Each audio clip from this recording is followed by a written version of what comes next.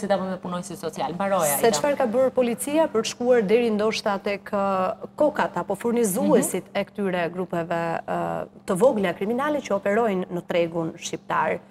Kryesisht pa diskutim që lënda narkotike sidomos ajo e llojit kokainë, heroinë apo edhe drogat sintetike, përveç kanabisit që edhe kultivohet brenda territorit shqiptar, por tashmë dhe ai po na importohet, vijnë nga jashtë. Dhe sa herë që kanë kapur dhe kanë patur informacione se nga cili vënd konkret vjen kjo lëndë narkotike, ka patur pafund shkëmbime informacionesh nga autoritetet shqiptare me ato të shtetit të vëndit të origjinës. Tani, a është një hallkë e gjatë për të bërë operacione të përbashkëta? Pa diskutim që po. Ose të paktën informacionit e këta në të vijnë nga sinjalet që vijnë nga fqinjët dhe nga fqinjët. Por lufta me drogën është një luftë që duhet të mbajë vigjilent në çdo moment, njëzet e katër orë në njëzet e katër, autoritetet që e luftojnë atë, sepse është ajo luftë që nuk zhbëhet dhe nuk përfundon kurrë. Është prioritet në shkolla? Po, atë do thoja. Domethënë sa e kanë shkollat prioritet këta? Prioritet ka qënë gjithë kohës, por 5 vitet e fundit, me hyrjen edhe të oficerit të sigurisë në shkollë, që është vetëm për sigurinë e nxënësve, dhe është gjithë kohës në kontakt me komisariatin e policisë. Unë shikoj që gjërat o të paktën nuk bëhen në mënyrë të ekspozuar ose janë ulur pak të paktën në në atë që kam parasysh gjatë gjithë ditës nëpër gjimnaze. Ajo që që shikoj është që zyshat janë informuar dhe të menjëherë të vijnë të takojnë që pashë një me këtë sjellje, m'u duk kështu, sepse edhe zyshat kanë një lloj informacioni, mbase jo të gjitha këto që folëm. E kanë prioritet në punën e tyre të paktën në shkollë? Mirëqenien e nxënësit e kanë prioritet përpara se unë thashë që prindi vjen i interesuar për notat. Ndërkohë që zyshat, to, zyshat e lëndëve shkencore, janë pak, e kanë mënyrën e orës të tillë që kanë shumë volum, por patjetër dhe ato e kanë prioritet mirëqenien. Kur shikojnë një nxënës që është gjysmë i fjetur, gati i rrëzuar në bankë dhe që nuk ka asnjë interes. Nuk ju kalon si një gjë e zakonshme. Patjetër po. që nuk ju kalon dhe e referojnë.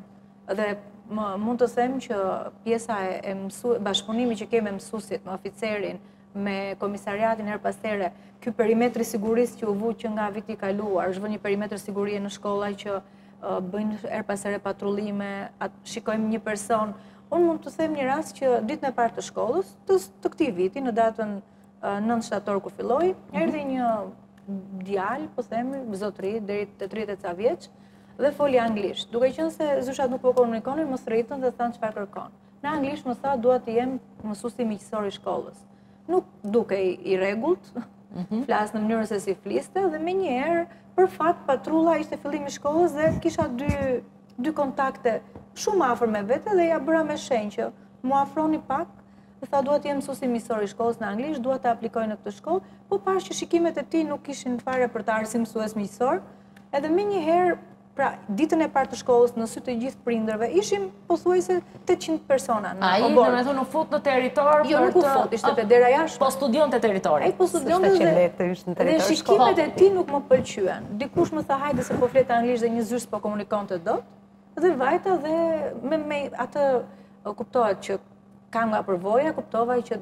Kishte diçka që s'shkonte. Kishte diçka që nuk shkonte. Ia bëra me shenjë, ata menjëherë nuk më erdhën në moment se që mos të prishej ai kontakti, mhm. thashë, ju mund të vazhdoni, dua të takoj drejtoreshën dhe drejtoreshja sot është shumë e zënë, që mos të jepja. Dhe kështu që ata më pas patrulla e shoqëroi, e shoqëroi, tha faleminderit, po e shoqëroi mbase nuk kishte fare lidhje me drogën, po diçka jo të mirë kishte. E po, kuptoj që ju jeni kaq alert sa alert, alert. pa parë, pa dëgjuar po. konkretisht për droga apo për shitje droge, çdo gjë Ai po fliste për qartë, pra nuk ishte fare, dinte shqip, sepse roja më pas më tha, s'dija si të thoja në atë moment që ky po bën kot si anglisht, sepse ai foli shqip, pra janë dhe elementë të tillë, mbase i dërgojnë te grupet për të për të krijuar terren, nuk di, po të them ditën e parë, kur ne ishim 800 veta në oborr, pra vijnë edhe studiojnë, bëjnë edhe forma të ndryshme, se si mund të të hyjnë, një është dhe kjo që thotë zonja për Snapchatin, e shoh që funksionon shpesh te adoleshentët se kanë këtë që dërgojmë diçka ajo ikën shpejt dhe nuk na e kontrollojnë. Nuk na e kontrollojnë, nuk Prindërit janë në dilemën, a duhet të hyjmë në privatësi për të kontrolluar. Të rrimë pak këtu, se kam nevojë për ndihmën e Gracielës edhe sigurisht edhe eksperiencën, patjetër edhe të psikologes në rastin e saj, në pozicionin e nënës, edhe po. të prindit, po, edhe të Ariolës.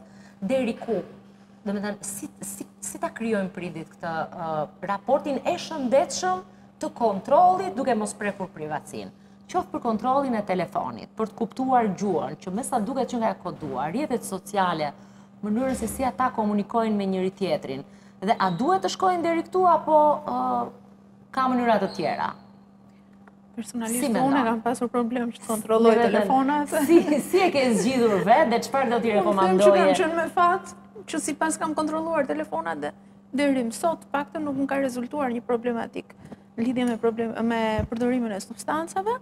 Gjithsesi jam shumë dakord me çfarë përmendi pak më përpara edhe Ariola që fillon shumë herët të qenit me fëmijën në një raport ku sigurisht jemi të ndërgjegjshëm, kemi rolin e prindit, po dim se si të ndërtojmë raporte miqësore me fëmijët tanë. Konfidenciale, po. Pa po. anashkaluar pjesën e përgjegjësisë prindërore që kemi. Është diçka, është një proces që fillon shumë herët. Ne nuk mund të kërkojmë të, të krijojmë një sistem të mirëfilltë besimi tek fëmija jonë, kur ai tashmë është bërë adoleshent, i ka shuar kuriozitetet, ka, ka filluar të eksperimentojë. Ka krijuar pika referencës, të ndikimit, të influencës. Fillon shumë më herët ky, ky raport mes prindit dhe fëmijës.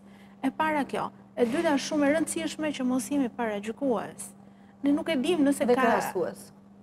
Jo vetëm krahasime, sepse aty hyjmë në një temë tjetër. Po mos t'i shohim me paranojën që mos po përdor drogë. Po. Mos të ndihen të hetuar për drogë. Ose ata që përdorin janë të tillë edhe të vëmë këto epitetet mbrapa, se ndoshta edhe fëmija jonë mund të ketë eksperimentuar.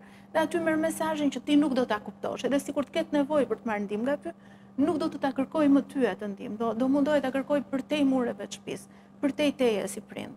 Kështu që shumë e rëndësishme minimizimi sa më shumë të jetë e mundur i etiketimeve, i të qënit paragjykues, apo i të vënit këtyre rregullave të forta, apo i të përdorit termave kjo është një gjë e keqe, kjo është e ndaluar, kjo nuk duhet të ndodhi. Jo, jemi dëshmitar që në jetën e gjithsecilit ndodhin gjëra për të cilat ndoshta s'jemi të përgatitur. Po mirë, ju thoni ky ky është një komunikim që fillon herët. Po, po sa herët? Unë jam prind vetë, domethënë, sa herët duhet t'i thuash një fëmijë ah, për drogën e bën shpjegimin po themi për drogën pak më vonë. Unë kam po, fjalën për formën e komunikimit e cila ka Dhe pa i thënë që kjo është një gjë e keqe. Nëse një fëmijë po themi 10 vjeç vjen dhe të pyet çfarë është kjo? E kam dëgjuar mhm. këtu. Si ia shpjegon?